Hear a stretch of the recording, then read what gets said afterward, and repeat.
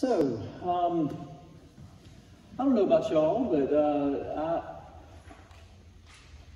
sometimes does your memory slip?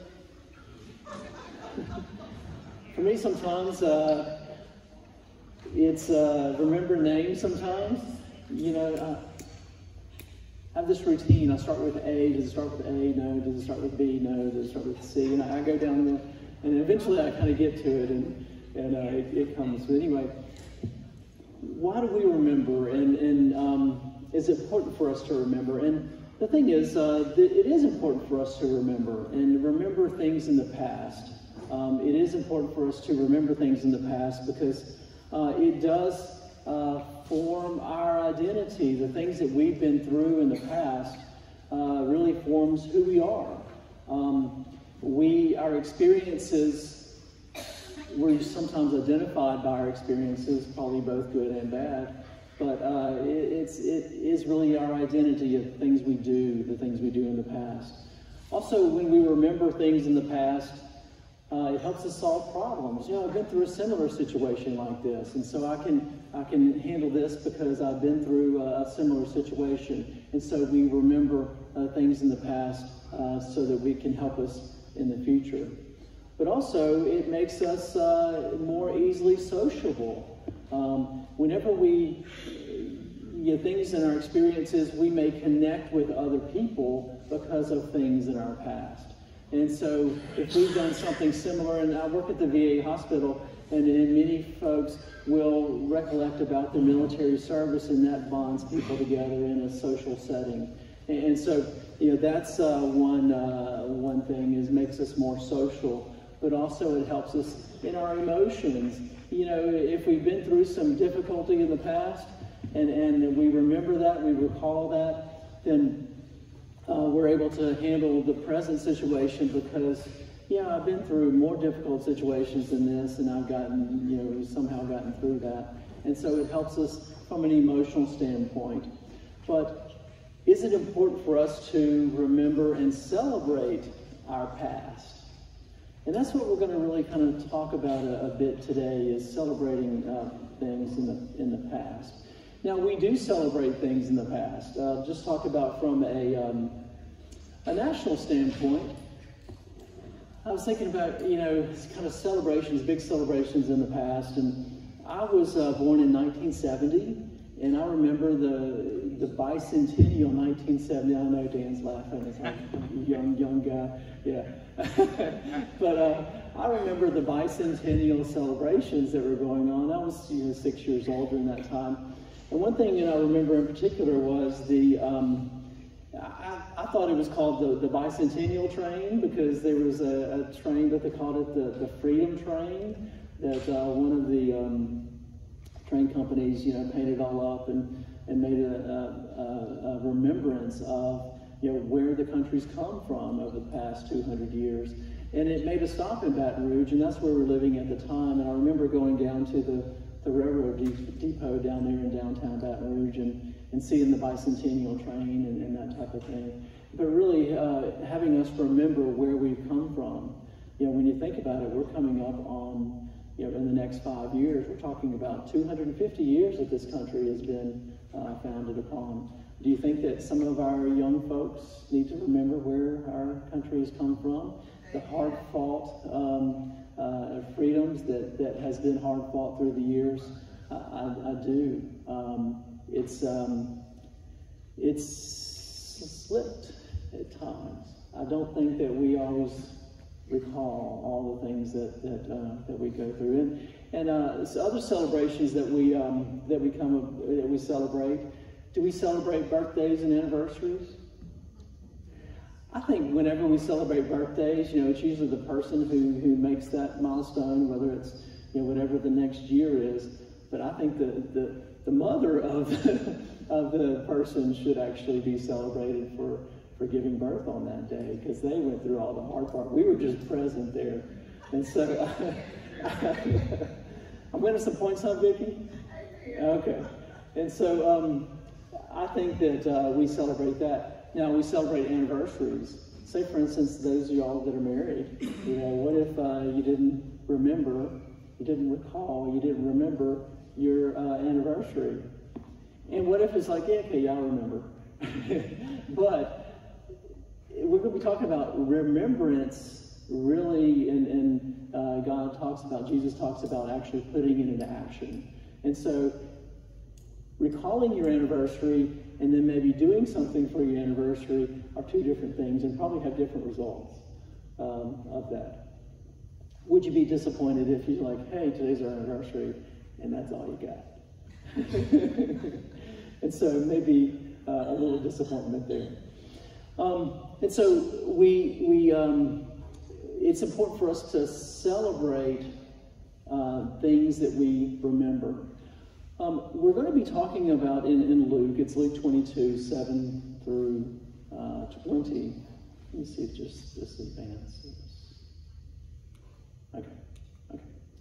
Um, we're going to be talking about really the, uh, the Last Supper, uh, and that's going to be the theme, but I really want to go back really to some um, historical things and talking about really the, the Passover, because they are celebrating the Passover meal.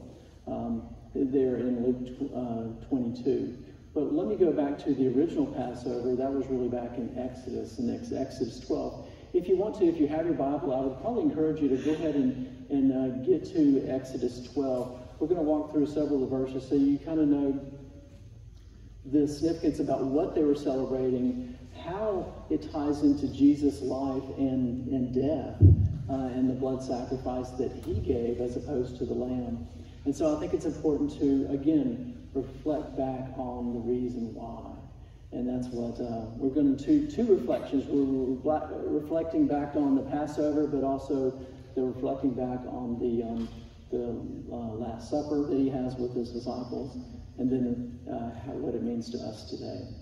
So we're going to uh, begin again, Exodus 12. We're going to uh, begin in verse 1. We're going to read 16, 17 verses or so. So let me go ahead and start that. Exodus 12, verse 1 The Lord said to Moses and Aaron in the land of Egypt, This month, this month shall be for you the beginning of the months. It shall be the first month of the year for you. Tell all the congregation of Israel that on the tenth day of the month every man shall take a lamb according to their father's houses, a lamb for a household. And if a household is too small for a lamb, then he and his nearest neighbor shall take accordingly to the number of persons, according to which what can uh, each can eat, uh, that you should make account for the lamb. Your lamb shall be without blemish, uh, make it a year old. You shall take it from the sheep or from the goats, and you shall keep it uh, under the, the 14th, until the 14th day of the month, where the whole assembly of the congregation of Israel shall kill their lambs at twilight. Again, they are in um, captivity in Egypt. They're preparing uh, for the final plague, um, the plague of the death of the firstborns. And so um, Moses instructed them to do this, to get a lamb, um, a, a, lamb that they would um, you know, kill and, and eat. But if, if you have, you know, a smaller family, then you share with families. You families come together and, and share where they can eat the meat. Then verse 7 Then they shall take some of the blood and put it on the two doorposts uh, and the lintel of the houses in which they eat. Each shall they shall eat the flesh that night, uh, roasted on the fire with unleavened bread and bitter herbs. They shall eat it. Uh, do not carry any of the raw or boiled. Do not eat any of, the, of it raw or boiled in water, but roasted, its head with its legs and its inner parts. And you shall uh, let none of it remain until the morning. Anything that remains until the morning, you shall burn it. In this manner you shall eat it your, with your belt fastened, your sandals on your feet, your staff in your hand, and you shall eat in haste. It is the Lord's Passover.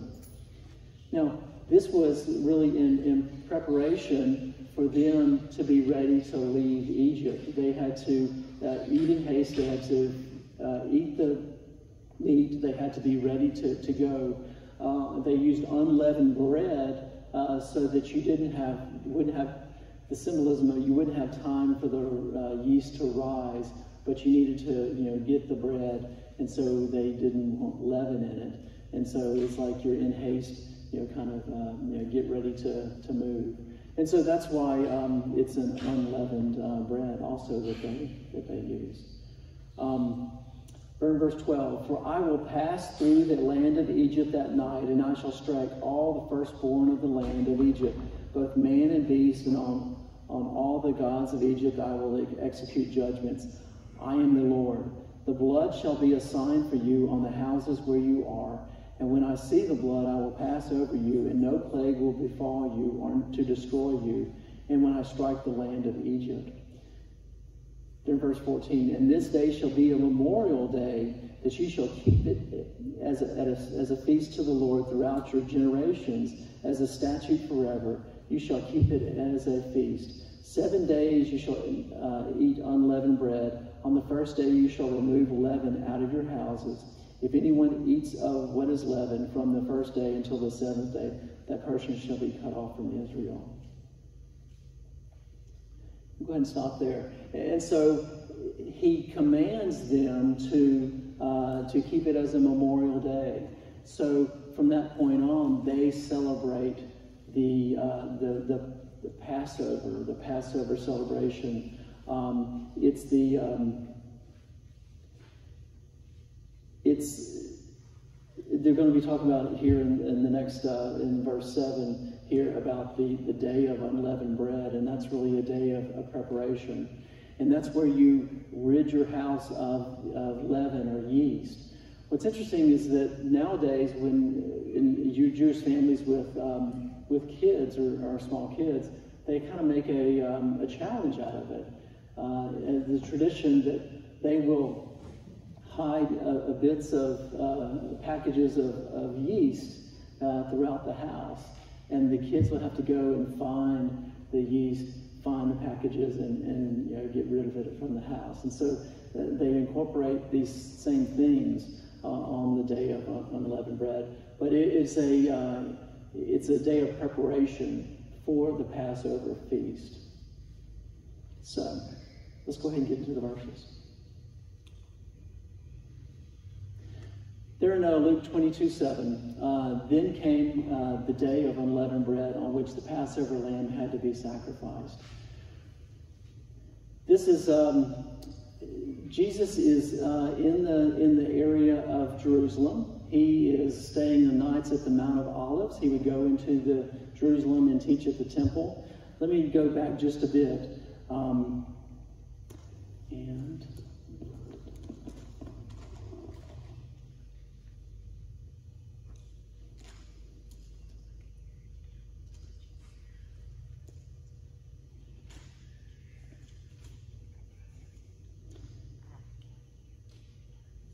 In Luke 22, um, 21, verse 37, and every day he was teaching in the temple, but at night he went out and lodged in the mount, of, uh, mount called Olivet.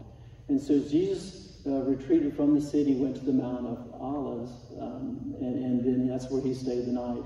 But we go in the city and teach at the synagogue um, uh, for the uh, for the during the daytime you know, did he have some contacts or people, you know, in Jerusalem? And I'm sure he did, but he didn't stay with them. He stayed, you know, out, out of the city. Um, and so they came to the day for them to prepare the Passover meal or the Passover celebration. And so uh, this is where the story picks up at this point in time. So in verse 8, uh, so Jesus sent Peter and John, saying, Go prepare the Passover for us, that we may eat it. And they said to him, Where will you have us prepare it? And so here they were, kind of, you know, staying in the Mount of Olives.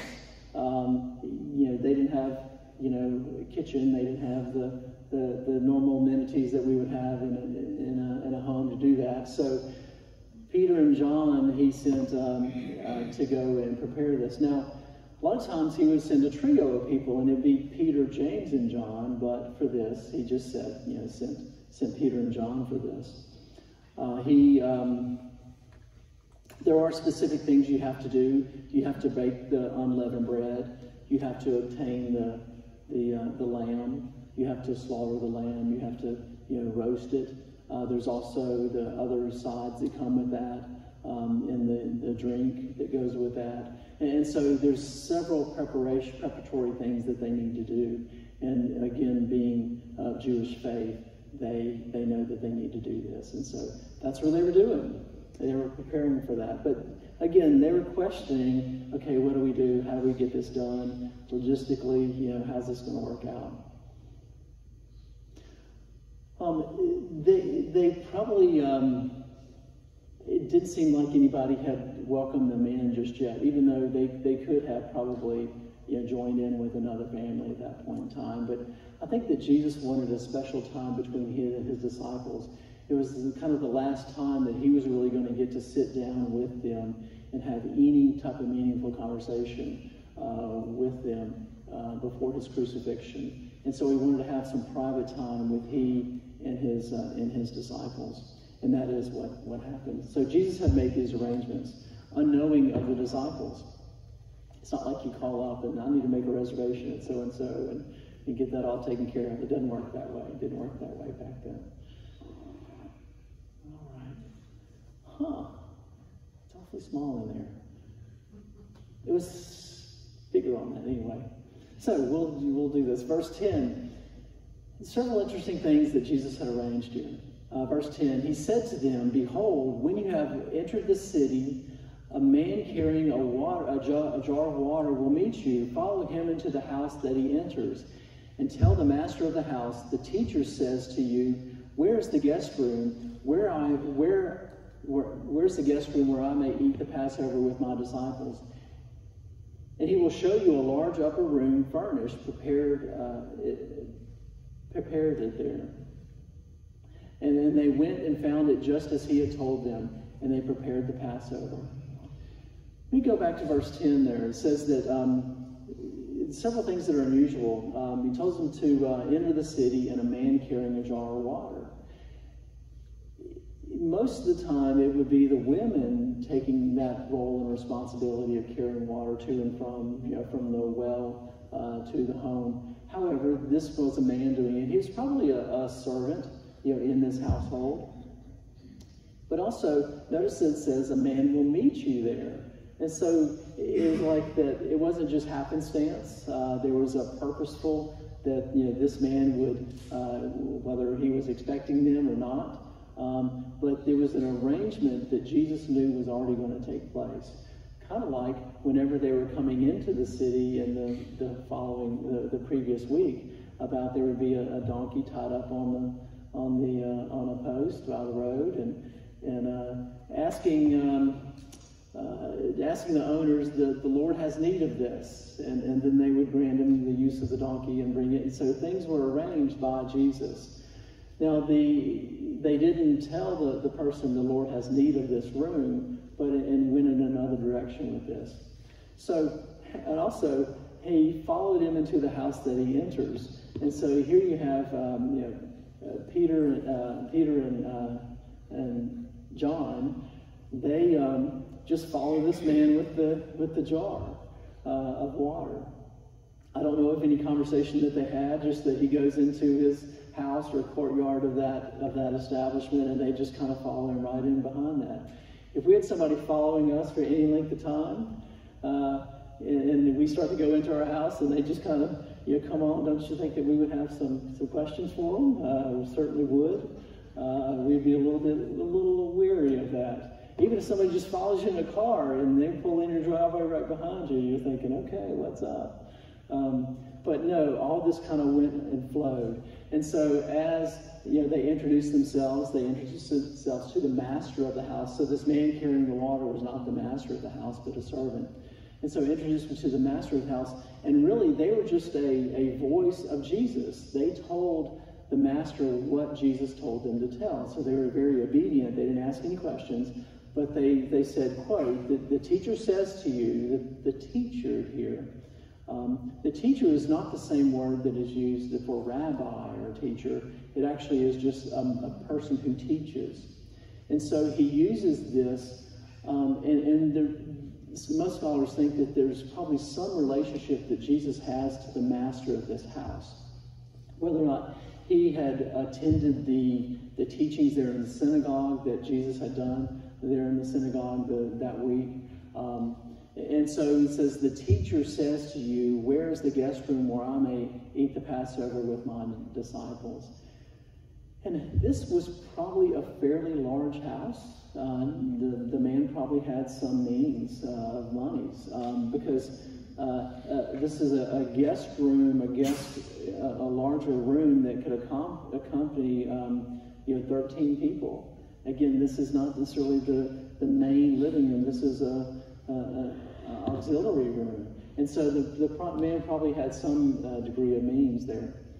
And, and with that, he says, you know, the teacher, and, and the man would probably recognize the teacher, meaning Jesus, uh, says to you, Where's this guest room that I may eat the Passover with my disciples? You know, in earlier uh, chapters, talk about some of his followers and disciples. Um, Jesus didn't necessarily use disciples here as the bigger group of his followers that followed him down the road as he came into Jerusalem, but really just the, the 12 uh, disciples that he has and himself. And so, where he may have that with the disciples. You know if the other people that were traveling to Jerusalem, if they had other places that they were staying, whether it's friends or family, and that, and celebrating Passover uh, for that. And so there, verse 12, and, and I will show you a large room furnished uh, and to prepare it there. And so it was a, uh, it, it, was a, uh, uh a furnished room that was set up uh, for a meal like this. Now, I don't know about y'all, but whenever I think about the, the Last Supper, what comes to mind for y'all? I think about the painting. Uh, it was uh, Leonardo da Vinci, uh, and and uh, it's not quite how it probably was back then. If you recall that, um, they're sitting at a table and they're sitting in chairs, and Jesus in the middle, and, and that. And that wasn't a typical setup. Um, and most of the time, whenever you ate a meal, it was a, it was a lower table and you actually reclined uh, there at the table. Uh, they had cushions and, and uh, softer things you can kind of lean on uh, and, and recline on that. And so that's probably what was uh, the situation there, not necessarily what Leonardo da Vinci had painted. But it's amazing how visual we are that you know we think about something, we remember something, and it's the, the visual thing that, that came up uh, uh, for that. And so, yeah, our, our minds are pretty powerful. It, it, it, remembers a whole lot of things. And so um, they're verse 13, 13, and they went and found it just as he had told them, and they prepared the Passover. There's no doubt that they knew that, that God's hand, Jesus, you know, arranged all this. Um, they've seen this dozens of times, you know, in the ministry that uh, that they had done. Let's see. Let's go ahead and. Be, uh, they're looking. Uh, Jesus kind of talks in the next couple of verses about things that are to come, and so this is kind of looking forward. There in verse 14, and when the hour came, he reclined at the table and the apostles with him. And there was probably a, a, set time that was traditionally you eat this you know, Passover meal at you know whatever time. So whenever that hour, that that time came, Jesus you know, came and, and reclined uh, at his at, at that low table. Um, have y'all ever eaten a meal like that? Uh, you know, at a kind of at a sitting down. Um, I remember going to a, it was. A, I went to a conference up in Washington, D.C. with some of my, fellow residents at, um, when I was going through training. And we went to a, um, a Moroccan restaurant, and they had that in Washington, D.C., where you, um, you share a meal and you're seated on cushions, and it was like a low thing. You actually eat with your hands, so you have to know the people really well that you're eating with.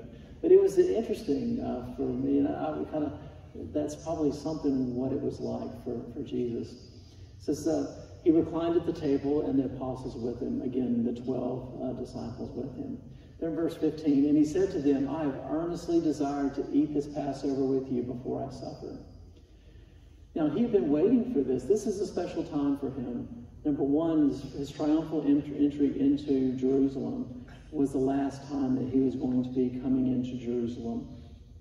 Um, in his ministry here. And so, with that, um, it was a special time. He knew what was coming. He knew it was upcoming. He knew that he would uh, be crucified and crucified within uh, a day or so of this. And so, it was um, it was extremely um, uh, important for him to to have this time. So he has been mentally preparing himself for this and spiritually preparing himself for this, but he, he earnestly desired to eat this Passover meal. Have we looked forward to so much sometimes that we earnestly, I just can't wait till this this happens. And I just get, you know, so giddy about it, you know, can't wait till this happens. And he was like that. He wanted that time. And so uh, sometimes in the new uh, Holman Christian Standard Bible, it says that he fervently desired, or it can be translated, with desire I have desired. And so that's the translation of earnestly desired to eat this Passover uh, with you before I suffered. Uh, you know, I don't. It wasn't because of you know uh, Peter and, and John were such good cooks that I just I know that this you know roasted lamb is just going to be the, the most fabulous you know thing. But it really was the interaction and conversation that he needed to have with the the, um, uh, the disciples. There in verse 16, uh, for I tell you, I will not eat it, eat it until it is fulfilled in the kingdom of God. Well, let me go back. I skipped over something very important. Uh, it says, I will not eat the Passover meal with you. I desire to eat this Passover meal with you before I suffer. And I'm sure that kind of kind of caught him off guard just a bit. You know, this is a celebration of remembrance. Um, but here he brings up, I'm going to be suffering. But he's told them this on half a dozen occasions uh, throughout his ministry. And so he brings it up to them before that it's kind of the time is at hand. Uh, I will not eat of this meal until uh, uh, before uh, I suffer. So he tells them he is going to suffer. He's going to eventually die for that He talks about later in the verses that you know his blood is going to be spilled, and so uh, he he's being very um, uh, forthright with them. And so he will not eat it until the uh, it is fulfilled in the kingdom of God. Many times the kingdom of God is talking about really uh, Jesus' second coming, the millennial time um, that uh, that he is is talking about. Uh, some folks. Um, you know, did he eat any more from the time that, you know, he, this conversation until he was crucified? He probably didn't. Um, but this is talking about really uh, uh, the, a coming feast whenever the, the, the Christ will be uh, reunited with his bride, the church. Uh, and this will be done at, uh, at his second coming. And so this is the, um, uh, we'll eat a feast with us um, at, at the at the uh, at the I guess the, the marriage of you know Christ with church. So then verse 17, and he took a cup, and when he, had given thanks, he said, Take this and divide it among yourselves. For I tell you, spell check. So I tell you, from now on, I will not drink of the fruit of the vine until the kingdom of God comes. And so, there in verse 17, it says, uh, He took the cup and He given thanks. And this is what we do in the Lord's Supper. And so, this certainly sounds would sound familiar. Um, and during the Passover meal, they share four cups. Um, and so, uh, this is uh, whether it was part of that, but most likely is something different because uh, he wants this to be a new covenant and a, and a thing that they do in remembrance of him. And so this is probably something separate, a separate, unexpected cup that, um, that he, uh, he gives. So he took a cup, and when he had given thanks, just think, he is given thanks for what? He is giving thanks for himself dying, and that this, this cup represents his blood. And so, is it hard to give thanks when the thanks when we're going to be going through a hardship or difficult time? For me, I, I think it's human nature that we we kind of dread those things, and we know Jesus was you know human, and he he uh, he prayed that this cup be removed from him. He was dreading part of this, but at this point in time, he was giving thanks to God for this cup, again, which represented his blood that he was going to die. And so that says a lot. We also know that in Romans 5, it tells us to give thanks for the difficulties and struggles in life because it ultimately improves our, our perseverance, but ultimately improves our faith in Him, that He's seen us through that. And so, but Jesus, again, as the example of that, gives thanks for the cup. And He says, Take this and divide it among yourselves. So um, He gave them the cup and they passed it down. Each took a sip out of the, uh, out of the cup. Now, there are some, we give individual, you know, you know small glasses of grape juice. There are some uh, religions that, that they use one cup and you take a, a sip out of the cup. Our kids, I debated whether not to tell the story. Uh, our kids went to, a, a, some of y'all probably heard this. Um, our kids went to Episcopal School in Shreveport, and with that, they have Eucharist, which is the Lord's Supper. They have it uh, once a month, I believe, and they celebrate it in the um, the chapel, you know, they would go to chapels twice a week, and so they would, chapel, they would do it once a month. And uh, after uh, Ashton was baptized here, we knew that he could participate in, in the Eucharist uh, up there. And so uh, he knew that we here in, in our churches use grape juice, and so he likes grape juice. Up there, they use wine, and you're uh, you out of you know one cup, and they do up the, the rim as you as you do that. But so again, Savannah's in the audience. This is where we hear the story from.